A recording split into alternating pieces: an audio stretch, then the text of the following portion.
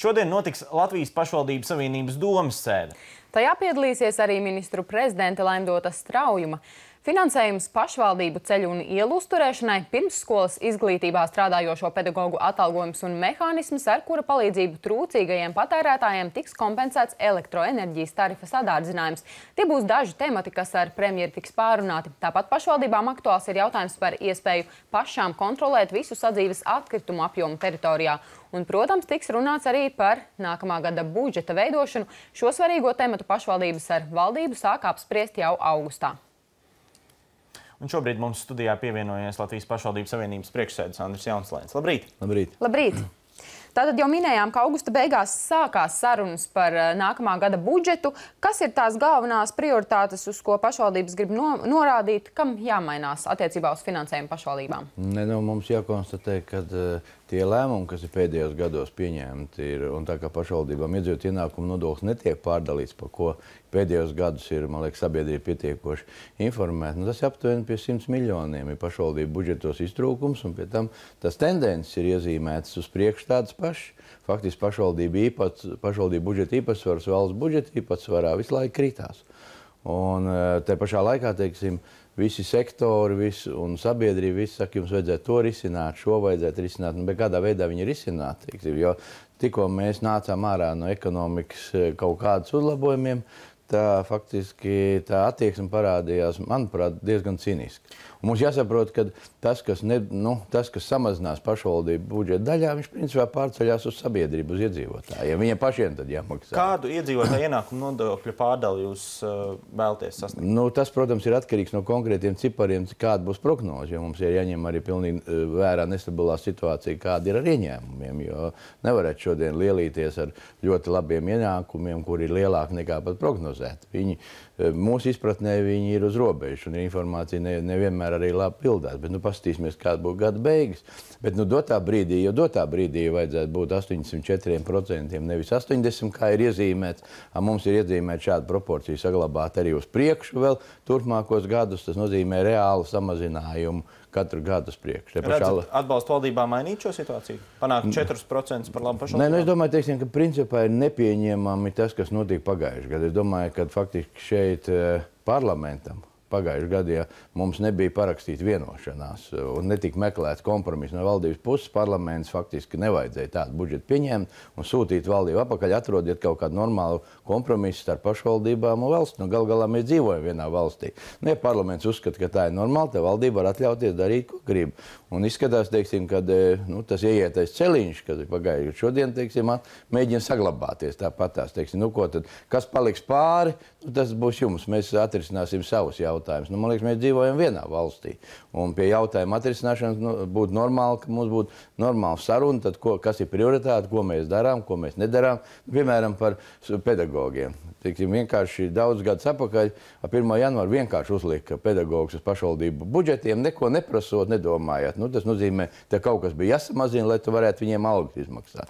Bet pedagogi mums ir vienādi. Tagad izveidojas situācija, kad pirmskolas pedagogi tas ir atkarīgs, cik mēs varam atļauties samaksāt, un tad ir no valsts finansēt pedagogu.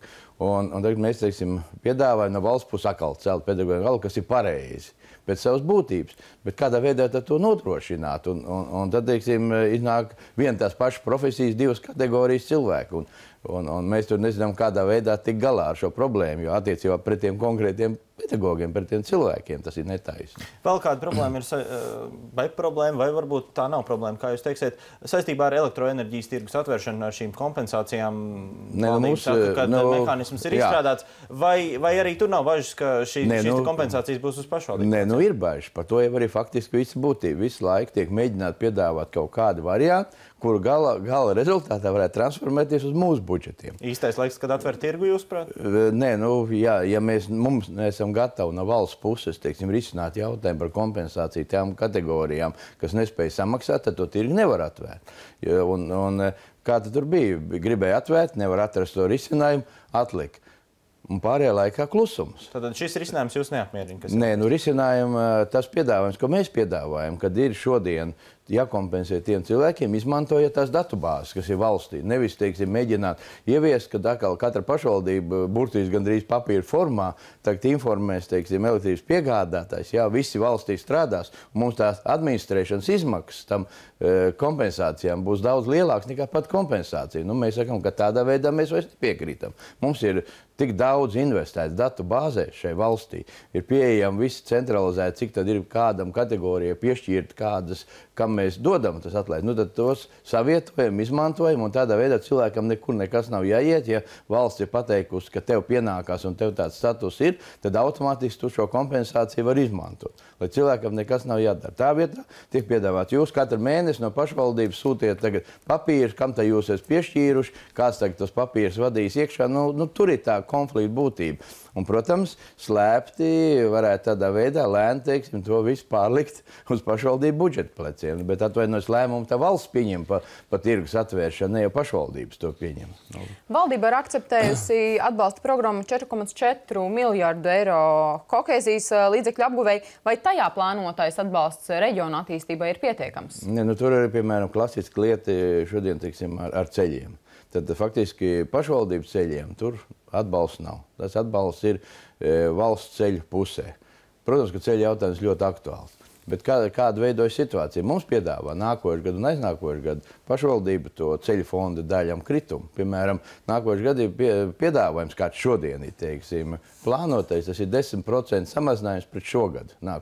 Tātad valsts pusē būs Eiropas fondi, plus palielinājums ceļu fondam, pašvaldību pusē kritums. Manuprāt, tas nav pareizi. Ja reiz mēs e, daļu no kohēzijas fondam izmantojam valsts ceļiem, nu tad iekšēji jāpārdala, lai nebūtu kritums teiksim, pašvaldības. Vēl arī izskanējis, ka tā kā nu, pa katru jautājumu nevarētu tikt piešķirt līdzekļu no šīs nu, jā, nu, tāpēc, ka teiksim, tur tie, tie jautājumi te, te kohēzijas politikā vispār netiek risināti. Nu, mums patīk teiksim, daudzi lieli projekti, un tā mūsu, ko mēs no savas puses teicām, nu, dodiet tiesības cilvēkiem uz vietas, teiksim, pašiem izlēmt, kādā secībā ko darīt. Teiksim. Mēs visu laiku cīnāmies par to, ka sektora ministrija zina labāk, kas tev jādara. Viņi tev nodiktē ēdienkarti, un tev ir divi varianti. Vai nu tev piemēroties to, ko tev nodiktē, Un tad ir tas princips, nu, ka dāvinātam zirgam jau zobos neskatās. Tad mēs brīnamies, ka varbūt lietas, ko mēs darām valstī, nav tās pašas svarīgākās. Bet tev, tev jau nav cits izējas. Mēģināsim rezumēt.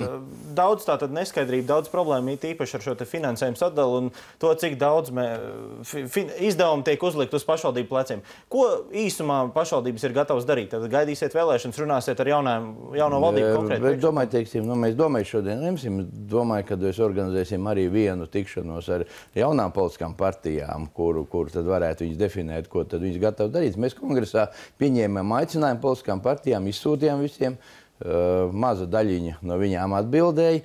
Un, bet, pārlasot politisko partiju programmas, viņas ir tik vispārīgas, kurām iet vēlēšanām. Tā kā atbildes uz to jautājumu, ko mēs šodien šeit pārunājam, tur nevar atrast. Lielas paldies par sarunu!